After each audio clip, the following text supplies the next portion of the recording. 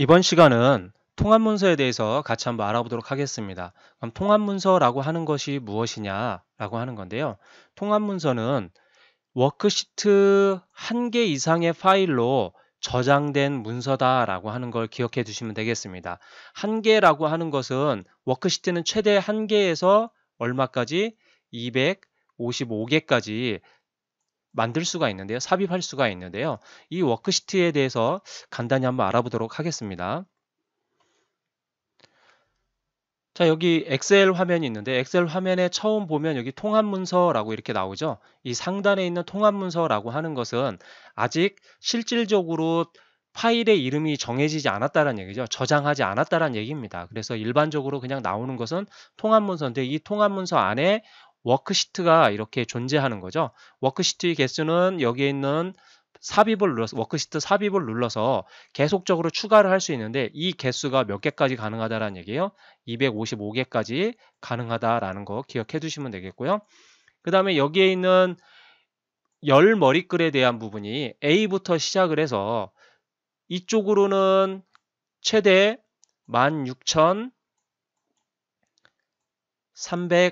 16,384개가 있고요. 16,384개가 있고 아래쪽으로는 몇 개가 있냐면 행머리글이죠. 행머리글. 행머리글이 1부터 시작을 해서 어디까지 100 1048 567 개가 있다라는 얘기죠. 1부터 1048567이라는 이 숫자만큼 셀의 개수가 있다라는 얘기죠. 워크시트 안에는 이렇게 가로에 대한 거, 그 다음에 세로에 대한 거, 그러니까 열에 대한 거, 행에 대한 것이 이렇게 있다라는 거 정도 기억해 두시면 되겠습니다. 그럼 이거를 실질적으로 할 때는 어떻게 하느냐?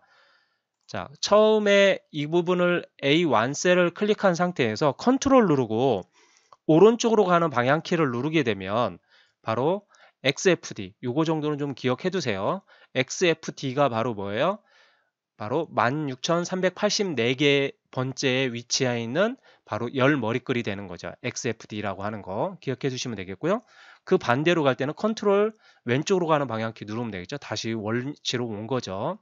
다시 이번에는 컨트롤 누르고 아래로 내려가는 방향키를 누르게 되면 맨 밑으로 내려오는데 1048567이라고 하는 개수가 보이죠. 열 머리글이 보이는 거죠. 열 머리글이 이렇게 위치하고 있다라는 거 기억해 두시면 되겠습니다. 자, 그래서 이렇게 행 머리글과 열 머리글의 개수 정도는 우리가 좀 알아둘 필요가 있고요. 아까 XFD라고 하는 열 머리글 끝 자리 숫자 정도 기억해 두시면 될 거고요. 그 다음에 여기 있는 워크시트를 삽입할 때는 여기 플러스인 이 부분을 눌러서 새 시트를 삽입할 수가 있는데 단축키도 좀 알아두시면 좋겠죠.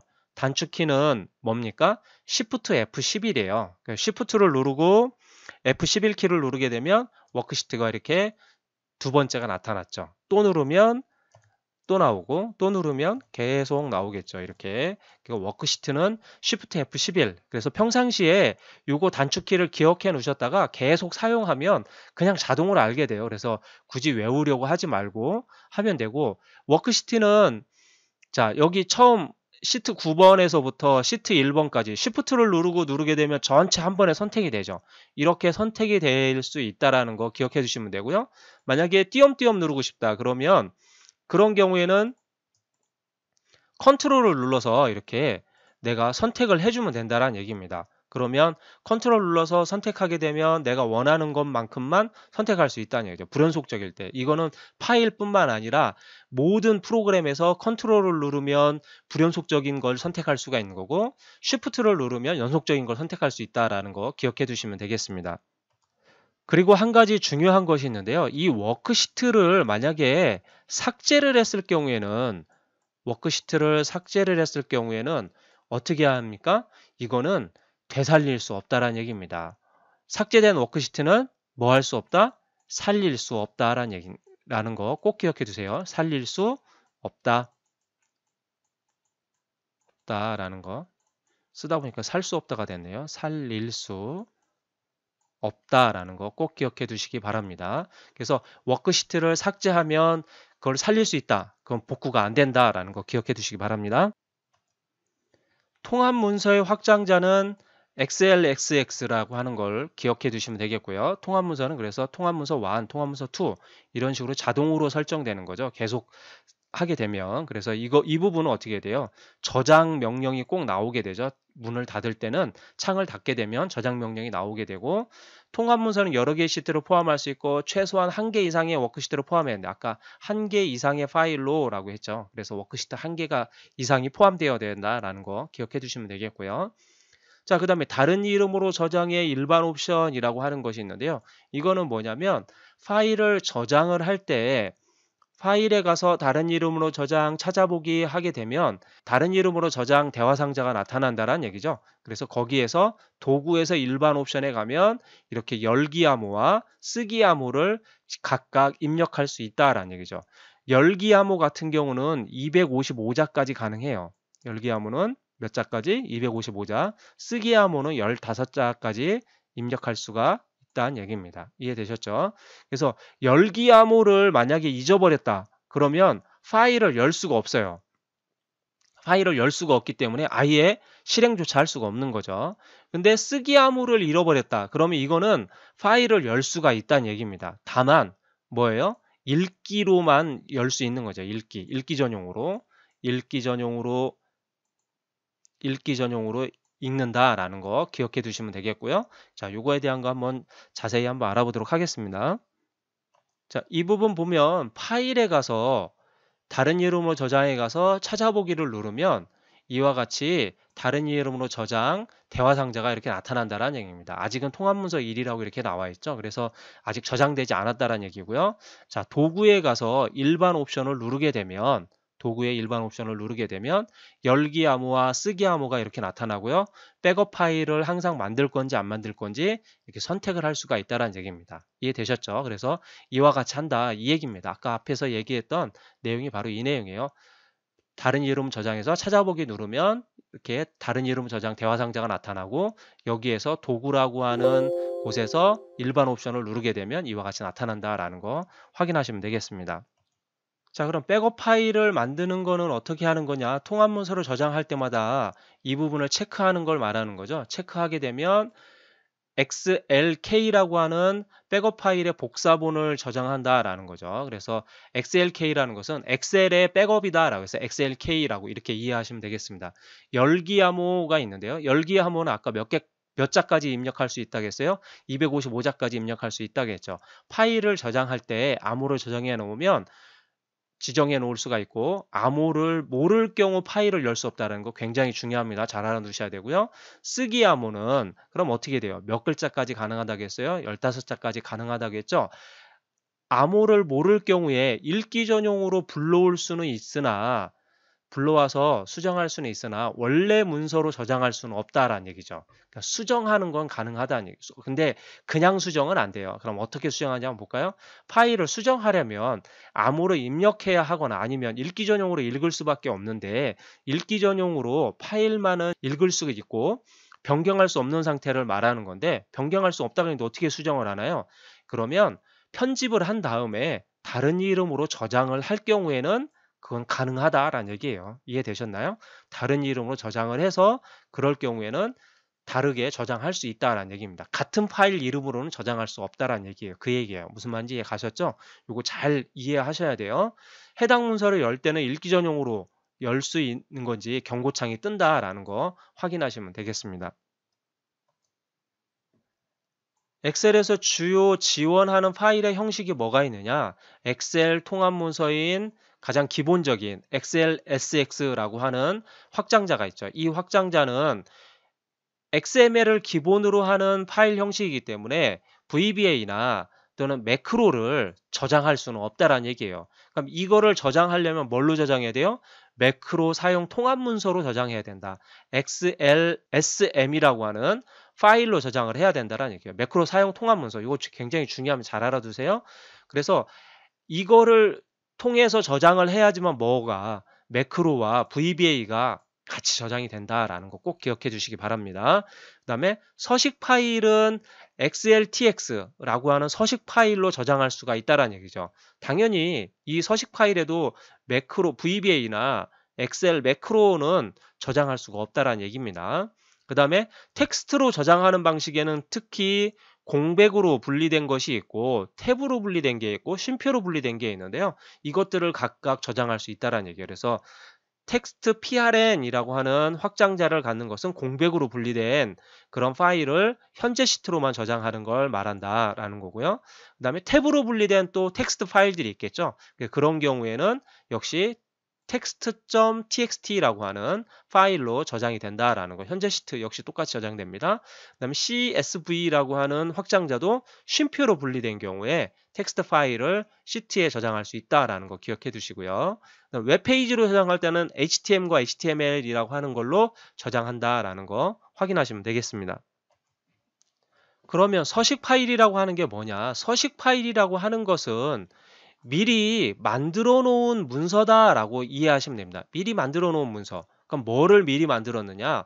어떠한 형식이나 스타일을 미리 만들어서 놓은 문서가 바로 서식 파일이다라고 이해하시면 됩니다. 그냥 정의니까 그냥 간단히 알아두시면 되고요. 아까 확장자는 우리가 확인해 봤었죠. 서식 파일의 확장자는 XLTX라고 하는 거 알아두었고요. 그 다음에 매크로가 포함된 서식 파일. 그럼 매크로가 포함된 서식 파일도 또 따로 있다는 얘기예요. 그냥 서식 파일에는 매크로가 저장이 안 되니까 매크로가 포함된 서식 파일에는 XLTM, M이라고 하는 매크로라고 하는 문서가 꼭 들어간다라고 하는 걸 기억해 두시면 돼요.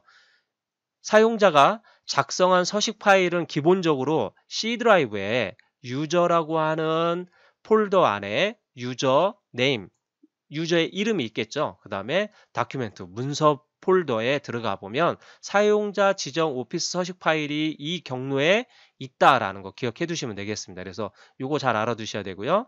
기본적인 서식 파일을 새로 만들려면 워크시트 같은 경우는 sheet.xltx로 만들면 되고요. 통합 문서 같은 경우는 book.xltx 잘못 생각하면 workbook으로 할 수 있는데 이거 잘 아, 기억해 두셔야 되고요. 이 파일을 어디에다가 엑셀 start라고 하는 폴더에 저장해야 된다. 이거 굉장히 중요한 말입니다. 이 부분은 시험에 잘 나오는 문장이기 때문에 꼭 기억해 두셔야 되고요. 반드시 알아둬야 되는 어, 문장 중에 하나입니다. 꼭 기억해 두세요. 모든 새 시트에 나타낼 서식이나 스타일, 텍스트, 기타 정보 등을 작성하는 서식 파일에 넣는다라고 하는 걸 기억해 두시면 되겠고요. 그냥 참고로 그냥 알아두시면 될 것 같고요. 그 다음에 새 통합 문서에서 보호되거나 숨긴 영역을 서식 파일에 넣을 수 있다. 보호되거나 숨긴 영역도 서식 파일에 넣을 수 있고요. 시트 탭의 바로가기 메뉴에서 많이 보지 않았을 것 같아요. 시트 탭의 바로가기 메뉴에서 삽입 탭을 선택하면 나오는 대화 상자에서 스프레드시트 솔루션 탭이라고 하는 게 있습니다. 거기에 보면 서식 파일이 있다라는 걸 알아두시면 되겠습니다. 자, 조금 전에 했던 그 부분은 뭐냐면 워크시트에서 마우스 오른쪽 버튼 눌러서 삽입이라고 하는 바로가기 메뉴에 가서 삽입을 누르면 이렇게 스프레드시트 솔루션이라고 하는 것이 있다는 얘기예요. 그래서 여기에 있는 서식들을 내가 사용할 수 있다라는 겁니다. 이해되셨죠? 또는 오피스 서식 파일을 오피스닷컴에 있는 서식 파일을 불러와서 쓸 수도 있다라는 거 참고하시면 되겠네요. 다음은 통합문서 공유입니다. 네트워크로 연결된 환경에서 하나의 통합 문서를 여러 명이 공동으로 접근해서 작업할 수 있도록 설정한 것이 작업을 할 수 있도록 설정한 것이 바로 뭐냐? 통합 문서 공유란 얘기예요. 그래서 이 통합 문서 공유를 통해서 하나의 문서를 여러 명이 공동으로 작업할 수 있다라는 얘기입니다. 공유 통합 문서 같은 경우는 다른 사용자가 액세스할 수 있는 네트워크의 위치에서 복사를 해도 다른 통합 문서나 문서 간의 연결은 그대로 유지된다라는 거. 문서 간의 연결은 그대로 유지된다라는 거 기억해 두시면 되겠고요. 이 통합문서 공유에 대한 부분은 종종 시험에 나와요. 그래서 그렇게 중요한 부분은 아니지만 그래도 한 번쯤은 짚고 넘어가야 될 부분이니까 좀 참고하시면 될 것 같고요.